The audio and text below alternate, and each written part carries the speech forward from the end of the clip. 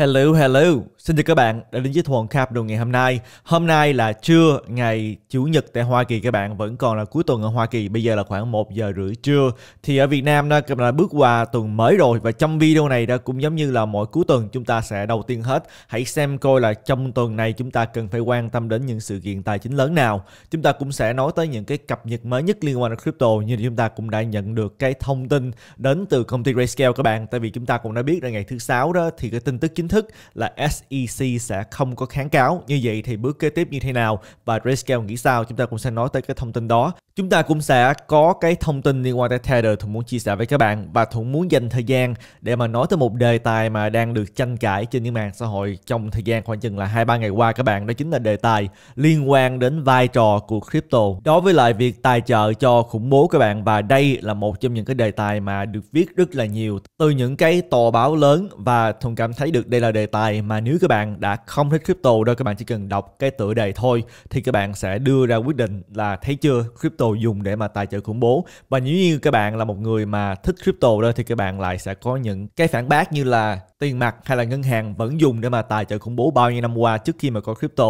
Vậy thì cấm hết tất cả đi. Và cũng như các bạn đã biết, sự thật nó thường nằm ở đâu đó chính giữa, nhưng mà để các bạn có thể hiểu hơn nên thuận sẽ chia sẻ thêm một số chi tiết với các bạn. Rồi chúng ta cũng sẽ cùng nhau để mà trung bình giá cho account demo của tuần này. Tuần này sẽ không có cái sự chia sẻ liên quan tới danh mục đầu tư các bạn. Tại vì danh mục đầu tư của thuần đó thì thường khoảng chừng là hai tuần mới chia sẻ một lần. Tại vì nếu không nó cũng khá là nhàm chán.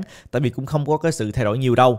Chúng ta bây giờ hãy bắt đầu đi và đương nhiên hiện bây giờ đã vẫn chưa có cái tài liệu liên quan đến chứng khoán Hoa Kỳ các bạn. Chứng khoán Hoa Kỳ sẽ bắt đầu vào khoảng chừng là một tiếng rưỡi nữa sẽ có cái tài liệu liên quan tới hợp đồng tương lai. Bây giờ vẫn chưa có.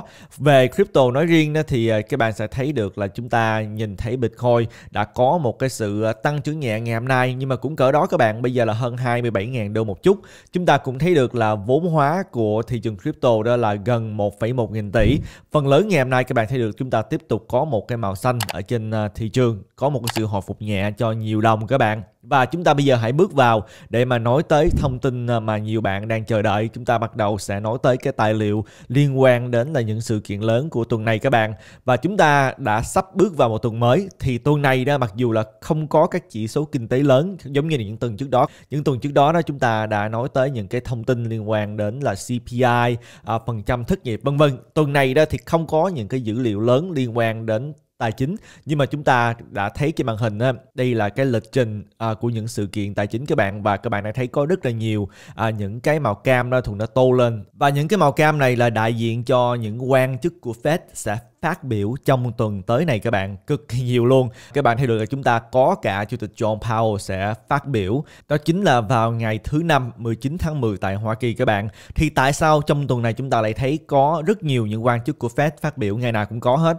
Thì cũng đơn giản thôi các bạn, tại vì chúng ta sắp sửa lại bước tới cái ngày bỏ phiếu về lãi suất kế tiếp. Đó chính là ngày 1 tháng 11 và theo thuần nhớ đó, hình như là một tuần hay là 10 ngày trước khi mà bắt đầu bỏ phiếu, thì sẽ không có thể nào mà chia chia sẻ thông tin với lại người dân được, nó sẽ đi vào một cái thời điểm gọi là blackout. Thì trong thời gian đó đó, tất cả những quan chức của Fed đều phải im lặng cho đến khi nào mà có quyết định cuối cùng liên quan tới lãi suất của tháng kế tiếp sẽ ra sao. Và đây là cái cơ hội cuối cùng các bạn nghĩ là trong tuần này đó là cơ hội cuối cùng cho những cái quan chức này nêu ra quan điểm của họ. Và bật mí một chút xíu là họ có thể sẽ bỏ phiếu như thế nào trong cái cuộc họp vào ngày 1 tháng 11 này. Khi nào mà có thêm thông tin những cái quan chức này nói gì thì sẽ chia sẻ với các bạn. Và chúng ta hãy chuyển qua nói tới cái thông tin kế tiếp đi, thì chúng ta cũng đã thấy là Grayscale đó cuối cùng cũng đã có sự phản hồi về tin tức về việc là SEC đã không kháng cáo quyết định của tòa án liên quan đến GBDC. Đây là cái sự việc mình thường nghĩ là nhiều bạn cũng đã nắm được rồi, cho nên tôi sẽ không có lặp lại là những gì đã xảy ra. Nhưng mà đây là cái tài liệu được chia sẻ bởi Fox News các bạn và dựa theo cái lời phát biểu đến từ Grayscale đó, thì họ nói là quy tắc 45 ngày của tòa phúc thẩm liên bang để mà yêu cầu xem xét lại đã qua. Có nghĩa là sau khi mà có quyết định ban đầu thì SEC có 45 ngày để mà kháng cáo và cái thời gian đó đã hết hạn rồi. Có nghĩa là SEC đã chính thức không kháng cáo thì tòa án sẽ ban hành lệnh cuối cùng trong vòng 7 ngày. Cái phần này cũng không quan trọng đâu các bạn, cái này là đi theo thủ tục mà thôi tại vì chúng ta đã biết là cái lệnh của tòa án không phải là kêu SEC phải chấp nhận Bitcoin Smart ETF của GBTC. Cái lệnh của tòa án chỉ đơn giản nói là SEC đã không thể dùng những cái lý do đã từ chối trước đây nữa mà phải làm việc với lại Grayscale và đưa ra quyết định cuối cùng và quyết định đó là phải chi tiết chứ không có được mơ hồ nữa. Thì đây chỉ là một cái hành động thủ tục pháp lý thôi các bạn cũng không có gì gọi là quan trọng. Nhưng mà điều quan trọng là đội ngũ của Grayscale nói là họ vẫn sẵn sàng về mặt hoạt động để chuyển đổi cái quỹ GBTC, đây là một cái quỹ trust thành một cái quỹ ETF khi mà được chấp thuận bởi SEC có nghĩa là chỉ cần SEC nói là chấp thuận, lập tức họ sẽ chuyển đổi cái quỹ này thành cái quỹ Bitcoin Spot ETF đầu tiên. Khi nào mà SEC chấp thuận đó đó vẫn là một câu hỏi các bạn và SEC sẽ làm gì? Bây giờ họ vẫn chưa có nói. Chúng ta cũng đã từng nói tới rất nhiều rồi. SEC đây đương nhiên có thể là làm khó họ và có thể là trì hoãn cùng với lại những cái quỹ đầu tư còn lại. Các bạn, thì những cái đề xuất khác đó cũng đang chờ đợi để được duyệt bởi SEC và SEC có thể là kéo dài cái vụ này và có thể chúng ta cũng vẫn phải chờ đến tháng 1 của năm sau các bạn mới biết cái thông tin. Thì chúng ta vẫn đang chờ đợi xem coi là SEC sẽ có quyết định gì. Và các bạn cũng đã có thể hiểu được là từ đây đến tháng 1 đó, bất cứ ngày nào chúng ta cũng có thể nghe thông tin đến từ SEC là họ chấp thuận. Và nếu như họ đã chấp thuận thì tất cả quỹ đều sẽ được chấp thuận. Hoặc là họ từ chối, thì tất cả quỹ sẽ đều được từ chối các bạn. Tại vì những cái quỹ này nó đều giống giống như nhau. Cho nên chúng ta hoàn toàn có thể có một thông tin tốt đến từ SEC từ đây đến cuối năm các bạn và đây là cái thông tin mới nhất liên quan tới Bitcoin Spot ETF và Grayscale. Cái thông tin kế tiếp tôi muốn chia sẻ với các bạn đó, đó chính là chúng ta đã thấy trong thời gian gần đây có nhiều cái bài báo như là bài báo này các bạn từ CNN, chúng ta cũng thấy bài báo từ Wall Street Journal, rất nhiều những bài báo. Mỗi lần mà có một sự kiện gì đó xảy ra giống như là chiến tranh giữa Nga và Ukraine, chúng ta nói tới bây giờ là cái cuộc chiến ở Trung Đông giữa Israel và cái nhóm Hamas các bạn. Thì mỗi lần mà có một cái gì đó xảy ra đó thì các bạn thấy là một đề tài được nói đến đó chính là cái vai trò của crypto trong cái sự việc này và chúng ta đã thấy là có nhiều bài viết đã viết về đề tài này và chúng ta cũng đã thấy là có nhiều cái sự tranh cãi trên những mạng xã hội. Những người mà ghét crypto đó, như tôi nói đầu video thì họ chỉ cần đọc cái tựa đề thôi là họ sẽ dùng cái thông tin này để tấn công thị trường này nói là thấy chưa? Crypto đó chuyên dùng cho những cái việc lừa đảo hay là tài trợ khủng bố, những việc xấu mà thôi. Còn những người mà ủng hộ đó thì các bạn thấy được họ sẽ luôn có những cái lập luận đơn giản là chúng ta đã thấy trước khi mà có crypto thì vẫn có những sự kiện này xảy ra. Chúng ta đã thấy là cái sự kiện của của 91 đó đã xảy ra ở Hoa Kỳ thì lúc đó khủng bố đã dùng cái gì các bạn? Đương nhiên lúc đó vẫn chưa có crypto thì à, họ dùng ngân hàng, họ dùng tiền mặt. Thì à, nếu như muốn cấm crypto thì cấm tất cả luôn đi. Các bạn sẽ thấy đây là những cái lập luận đơn giản từ hai bên mà chúng ta dễ dàng tìm thấy ở trên Twitter. Và thuận cảm thấy được là phần lớn những người mà bình luận đó thì họ cũng không có đọc báo luôn các bạn. Họ chỉ đọc tựa đề mà thôi, rồi họ tự đưa ra kết luận. Cho nên ngày hôm nay đó, thuận muốn cùng các bạn để mà tìm hiểu một số những cái chi tiết. Và thuận cảm thấy là mỗi lần mà có một cái chiến sự xảy ra đó thì à, thường dẫn đến là cộng đồng nó sẽ chia ra làm hai phái. Và nêu quan điểm của mình một cách cực kỳ mạnh mẽ các bạn. Nếu như không nói là hai bên cứ cãi nhau. Nhưng mà thuận cảm thấy là tới cuối cùng đó, không ai muốn chiến tranh đâu các bạn. Nhưng mà đó không phải là điều mà chúng ta sẽ nói đến ở cái phần này. Phần này chúng ta sẽ nói đến là sự thật về vai trò của crypto trong những cái sự việc như là chúng ta đang chứng kiến hiện tại. Thì đầu tiên hết thuận cảm thấy là phần lớn những cái sự hiểu nhầm sẽ dễ dàng được hủy bỏ nếu như mà một người nào đó đó thật sự đọc những bài viết đến từ Wall Street Journal đến từ CNN giống như là bài viết này các bạn, bài viết này đó thì à, nói là thật sự nhóm Hamas đã có sử dụng crypto là như là một phần mà tài trợ tài chính cho họ. Và điều này thường không nghĩ là có người sẽ nói là không đúng đâu các bạn, tại vì sự thật đó là chúng ta đã nhìn thấy được là Binance đã làm việc với lại Israel để mà đóng băng một số những cái account trên sàn Binance liên quan đến Hamas. Và tôi nghĩ là điều này là điều mà nhiều người cũng đã biết rồi. Nhưng mà cái mà chúng ta nên hiểu là cái phần đó là lớn bao nhiêu. Và khi mà chúng ta đọc kỹ những bài viết này ra thì à, họ nói là đương nhiên là có crypto liên quan đến việc là tài trợ cho những cái nhóm này. Nhưng mà trên căn bản đó, nếu chúng ta nhìn vào lịch sử thì bao nhiêu năm qua chúng ta có rất là nhiều những cái nhóm như thế này và họ luôn tìm kiếm những lỗ hổng những cơ hội để có thể có được cái tiền tài trợ. Và những điều này đã có trước khi mà có cả crypto rồi các bạn. Cho nên CNN mới nói đó là trên căn bản họ là một cái đơn vị mà luôn tìm kiếm cơ hội các bạn. Opportunistic và thích nghi các bạn. Adaptive. Họ là một đơn vị mà luôn tìm kiếm những cơ hội và thích nghi và tìm kiếm lỗ hổng trong thị trường tài chính. Và bao nhiêu năm qua, khi mà họ tìm thấy lỗ hổng này, họ sử dụng rồi bị lắp lại là họ sẽ đi tìm kiếm lỗ hổng khác. Và cứ thế các bạn, họ sẽ luôn tìm kiếm một thứ mới hơn và thứ mới hơn để có thể có được cái tiền tài trợ đó và những nỗ lực để mà ngăn chặn đó, nó giống như là chúng ta nói tới một trò chơi giữa mèo và chuột gì đó, cứ liên tục diễn ra bao nhiêu năm qua.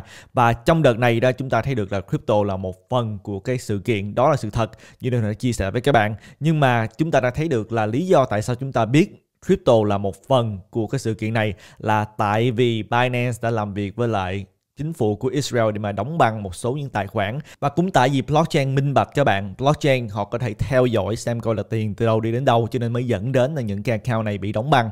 Và nghĩ cách khác đó, sử dụng blockchain để mà di chuyển tiền thật sự đó, không phải là một cái tốt. Nếu như một ai đó thật sự là muốn hoàn toàn ẩn danh đâu các bạn, tiền mặt thì dễ dàng hơn rất là nhiều. Và nếu chúng ta nhìn vào con số thống kê ra thì không có đâu. Chúng ta có thể nhìn thấy được là bên dưới này đã có một số những thống kê đến từ những cái công ty khác nhau và họ thống kê đó là khoảng chừng 41 triệu đô la đã được dùng để mà tài trợ khủng bố trong khoảng thời gian từ năm 2020 tới năm 2022 các bạn. 3 năm liên tục thì chúng ta thì được con số tổng chỉ là 41 triệu mà thôi sử dụng crypto.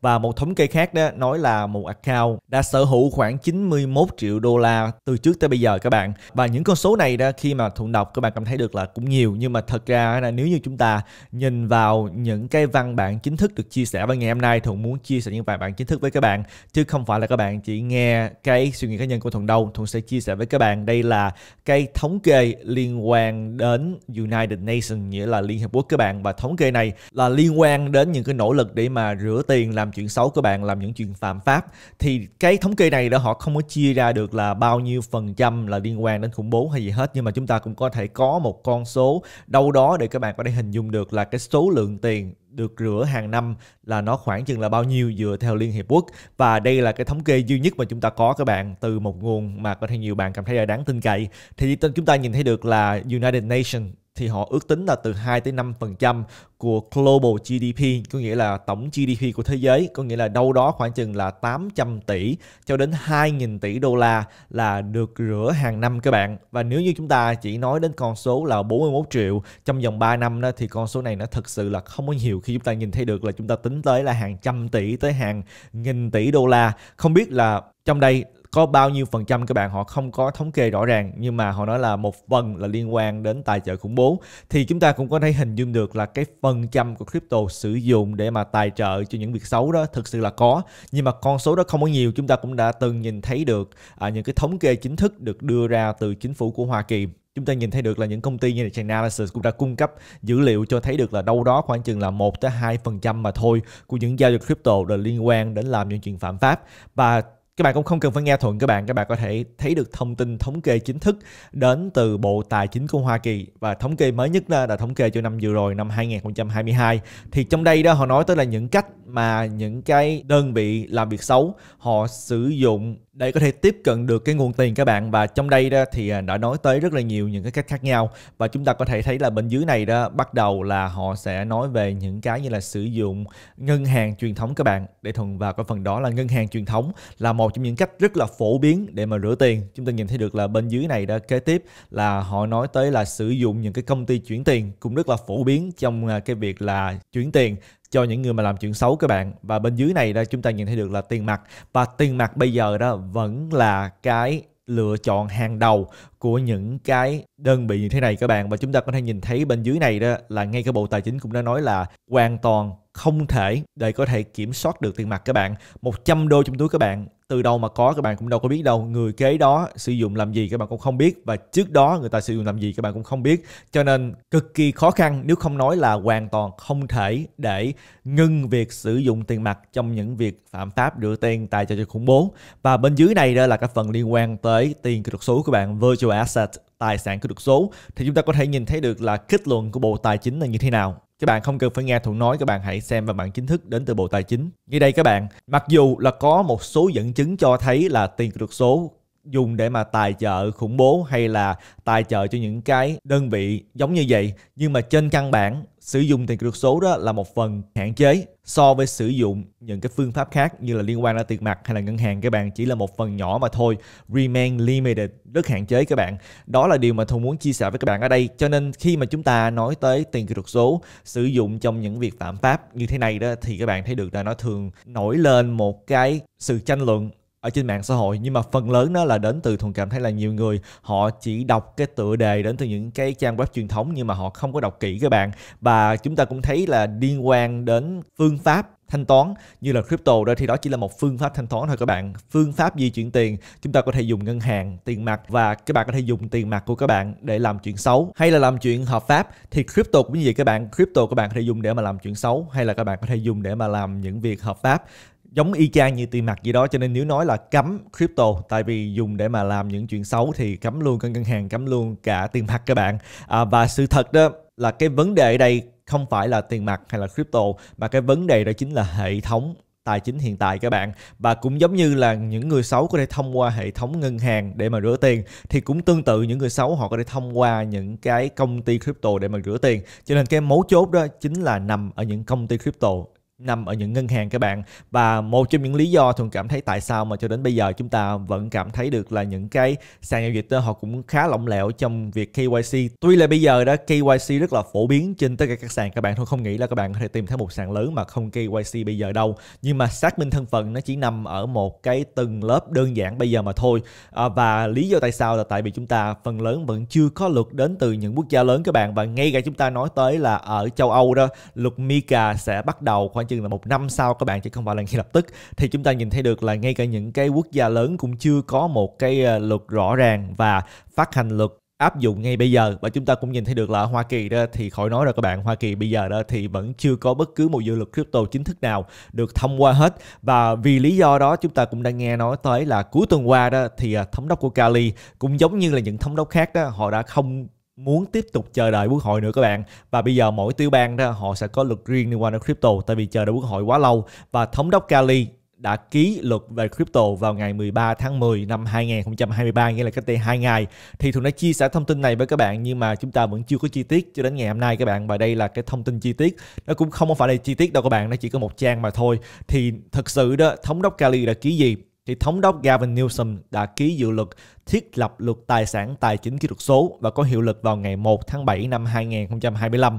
Một lần nữa các bạn thấy là chúng ta nghe nói tới luật được ký, nhưng mà bắt đầu là 1-2 năm sau các bạn, và đây cũng không ngoại lệ ngày 1 tháng 7 năm 2025 thì mới bắt đầu là áp dụng cái luật này thì trong luật này đó họ nói là DF TI có nghĩa là Bộ Bảo vệ Tài chính và Đổi mới, sẽ có quyền cấp phép và quyền thực thi cho các hoạt động tiền điện tử trong tiểu bang Cali. Nghĩa là các bạn là một sàn giao dịch. Như là Coinbase thì các bạn sẽ đăng ký với lại DFPI ít ra cũng có một đơn vị rõ ràng các bạn, không giống như là ở liên bang. Chúng ta không biết là bây giờ quyền hành của SEC sẽ đến mức nào ký đó nữa các bạn thấy được là dự luật này đó đã trao quyền lập quy định cho đơn vị chúng ta vừa nói tới là DFPI và dự kiến sẽ có một giai đoạn triển khai kéo dài 18 tháng. Có nghĩa là bây giờ đó thì à, cái luật này trên căn bản chỉ nói là đơn vị được toàn quyền quản lý trong tiểu bang Cali liên quan đến crypto đó chính là DFPI. Quy định như thế nào đó thì họ sẽ lập ra trong vòng 18 tháng tới đây. Nhưng mà nhấn mạnh là việc cần thiết phải tìm ra sự cân bằng các bạn, đây là điều quan trọng sự cân bằng phù hợp giữa việc bảo vệ người dùng khỏi thiệt hại và khuyến khích một môi trường đổi mới có trách nhiệm có nghĩa là sao các bạn có nghĩa là không có cấm, chỉ là muốn phát triển một cách có trách nhiệm và có thêm nhiều luật để bảo hỗ trợ người dùng, lỡ như gặp sự cố như này FTX mà thôi. Và cái thông tin kế tiếp tôi muốn chia sẻ với các bạn trước khi mà chúng ta cùng nhau chung bình giá cho Cardano tuần này đó chính là liên quan đến Tether. Và có hai thông tin các bạn. Thông tin mà nhiều bạn chắc cũng đã nhận được, đó chính là công ty Tether sẽ chính thức có một CEO mới và thật ra người này cũng không phải là người mới ở Tether đâu, đó chính là Paulo Adorno đây là một người mà trước đây giữ cái chức vụ là CTO nghĩa là giám đốc công nghệ ở Tether và ở Bitfinex thì người này sẽ trở thành CEO mới của công ty Tether và CEO hiện tại là Jean-Louis Van der Velde. Người này sẽ chuyển sang một vị trí mới, là vị trí tư vấn và hỗ trợ công ty mà thôi. Và người này thì vẫn tiếp tục giữ chức vụ là CEO của Bitfinex. Hai cái công ty này là cùng một công ty mẹ là iFinex các bạn, Bitfinex và Tether. Cho nên chúng ta thường hay nghe những cái thông tin là công ty Tether in thống rồi đem lên sàn Bitfinex rồi sau đó tung ra trên thị trường. Nhưng mà tới cuối cùng chúng ta vẫn chưa có bất cứ một bằng chứng nào xác thực trong vòng bao nhiêu năm qua các bạn. Và ngoài ra đó thì Paolo Androno cũng vẫn sẽ tiếp tục giữ vai trò là CTO tại Bitfinex và giám đốc chiến lược tại một công ty có tên là Hole Punch. Đây là một cái dự án Bitcoin Layer 2 được tài trợ bởi Tether và Bitfinex sau đó đó thì chúng ta cũng đã nhận được một cái à, thông tin đến từ Paolo Androino ở trên Twitter. Và người này đã nói là Tether RWE như là hệ sinh thái thực tế của Tether, sắp sửa ra mắt các bạn. Và thật ra chúng ta không có biết thêm thông tin nào ngoài trừ cái tweet này hết. Thì à, mọi người đều nói là cái này là gì? Các bạn có thể là à, một cái hệ thống để mà token hóa tài sản. Đó là cái mà nhiều người nói tới hiện tại. Và dạo này đó thì Tether mua nhiều Bitcoin, đầu tư đào Bitcoin và tài trợ Bitcoin Layer 2 như chúng ta đã nói tới là cái dự án Hope Punch thì có phải là công ty Tether chuẩn bị đưa ra một hệ sinh thái trên mạng lưới của Bitcoin để có thể phát hành những token liên quan đến tài sản hay là không? Chúng ta vẫn phải tiếp tục chờ đợi các bạn và tới cuối cùng của video này đó thì chúng ta sẽ cùng nhau chung bình giá cacao demo các bạn. Và những bạn nào mà mới đến kênh đó, thì mỗi một tuần chúng ta sẽ cùng nhau chung bình giá. Account này là một account demo nghĩa là không phải là account thật các bạn. Thường chỉ muốn tạo một account này để các bạn thấy được là quá trình chung bình giá ra sao và kết quả như thế nào và chúng ta đã cùng nhau tạo cái account này à, vào tháng 4 của năm ngoái các bạn ngày 4 tháng 4 lúc đó đó chúng ta đã bắt đầu trung bình giá Bitcoin ở mức là 46.622 đô cho một Bitcoin.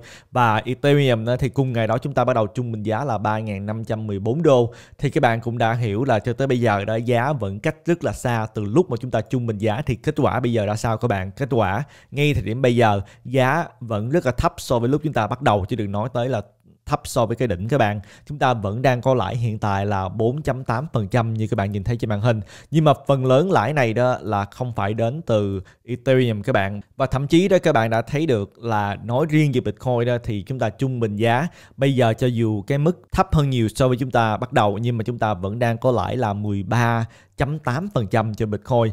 Nhưng mà Ethereum đó thì các bạn đã thấy được là thì nó khác hiện bây giờ Ethereum thì đang có cái phần lỗ là 3.2%. Không phải là nhiều các bạn so với cái mức chúng ta bắt đầu, nhưng mà đây là cái kết quả hiện tại và chúng ta có thể thấy được là nếu như mà giá tiếp tục có sự hồi phục và trở về cái mức chúng ta bắt đầu hay là đạt đỉnh mới đó, thì phần trăm này nó sẽ như thế nào các bạn. Chúng ta sẽ tiếp tục trung bình giá và tiếp tục theo dõi kết quả. Và ngày hôm nay đây chúng ta sẽ cùng nhau trung bình giá 100 đô cho Bitcoin và 100 đô cho Ethereum. Thì hiện bây giờ mức là 27.200 đô các bạn. Chúng ta dùng 100 đô thì chỉ có thể mua được 0.003 Bitcoin mà thôi các bạn.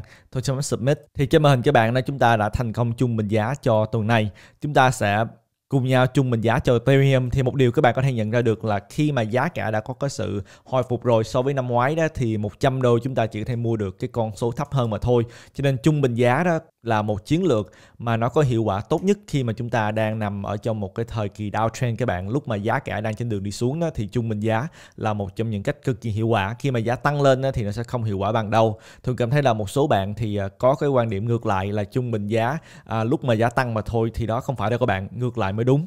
Thì chúng ta sẽ cùng nhau trung bình giá 100 đô Ethereum tuần này thì chúng ta mua được là 0.0639 Ether. Thuần sẽ bấm submit và đây là transaction liên quan đến cái trung bình giá ngày hôm nay. Và đây là tất cả những thông tin mà Thuận muốn chia sẻ với các bạn trong video ngày hôm nay. Thuận hy vọng là các bạn nhận được nhiều giá trị trong video này. Nhưng mà nào muốn tìm hiểu ưu đãi dành riêng cho cộng đồng của Thuận Capital thì có thể tìm hiểu bằng cách là bấm vào cái link ở bên dưới video này để tìm thấy những ưu đãi như là các bạn có thể nhận được bonus hay là giảm phí giao dịch lên tới 30% khi mà tham gia vào những sàn như là Bybit, OKX, Bitget, Binance, AlineX và một số những dịch vụ khác như là các bạn đang nhìn thấy trên màn hình. Những người nào mà sử dụng sàn giao dịch thì nên dùng để mà giao dịch mà thôi, không nên lưu trữ quá nhiều tiền trên sàn. Và Thuận sẽ hẹn gặp lại các bạn trong video kế tiếp. Tạm biệt các bạn.